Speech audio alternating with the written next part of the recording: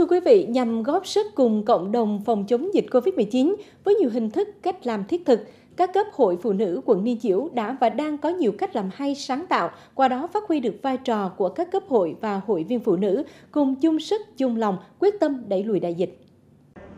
Đợt dịch lần thứ tư bùng phát, chia sẻ những khó khăn với lực lượng tuyến đầu chống dịch, hàng ngày có gần chục chị em chi hội phụ nữ Quang Thành 3A1 đảm nhận nấu 45 suất cơm phục vụ cho anh chị em tại các điểm chốt chặn. Ngày ba bữa, chị em luôn đảm bảo cơm nóng canh ngon. Đồng một số chị em trong ờ, khu dân cư hỗ trợ là nấu những suất ăn à, mang đến cho các chốt trực với lại à, cán bộ trên địa phương để à, à có cái à, đảm bảo sức khỏe tinh thần để à, phòng chống dịch đẩy lùi dịch bệnh nhanh chóng hơn. Trong thời gian thành phố thực hiện giãn cách xã hội, 100% cán bộ hội tham gia trực tại các chốt trực khu dân cư. Có gần 4.000 lượt cán bộ hội và 4.500 lượt hội viên tham gia đi chợ giúp dân với 85.000 đơn hàng. Tổng số tiền đi chợ giúp bà con là gần 25 tỷ đồng. Bên cạnh đó, trước tình hình thiếu nguồn cung cấp thịt heo cho nhân dân, Hội Phụ nữ quận đã tổ chức hai điểm cung ứng thịt heo để kịp thời cung cấp cho nhân dân, giúp cho người dân yên tâm thực hiện ai ở đâu thì ở đó và giảm áp lực cho chính quyền cơ sở.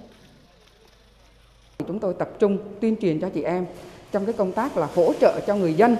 à, thực hiện cái thời gian mà giãn cách xã hội khi chủ trương của thành phố, đồng thời đi chợ giúp dân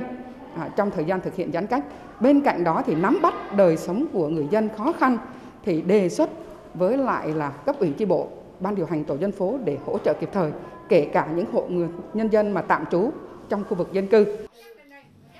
Với phương châm không để ai bị bỏ lại phía sau, Hội Liên hiệp Phụ nữ các cấp phân công hội viên thường xuyên thăm hỏi động viên hội viên phụ nữ và nhân dân có hoàn cảnh khó khăn chịu ảnh hưởng bởi dịch bệnh bằng các phần quà thiết thực. Và trong những ngày đầu tháng 10 này, Phụ nữ quận Liên Chiểu lại có mặt tại hầm đường bộ Hải Vân để trao tặng những phần quà giúp bà con các tỉnh phía Nam về quê đi ngang qua địa phận Đà Nẵng. Và bằng cái nguồn lực à, hỗ trợ từ Hội Phụ nữ thành phố, thì các cấp hội trên địa bàn Liên Chiểu chúng tôi cũng đã kịp thời mua các nhu yếu phẩm thiết yếu và chúng tôi thành lập một cái tổ cung ứng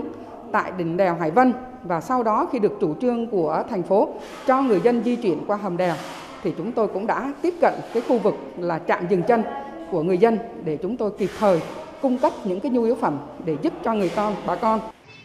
Trong gian khó, các cấp hội phụ nữ luôn là hậu phương, tường thành vững chắc cho tiền phương và tạo sự lan tỏa về ý thức trách nhiệm mạnh mẽ trong cộng đồng về công tác phòng chống dịch bệnh COVID-19.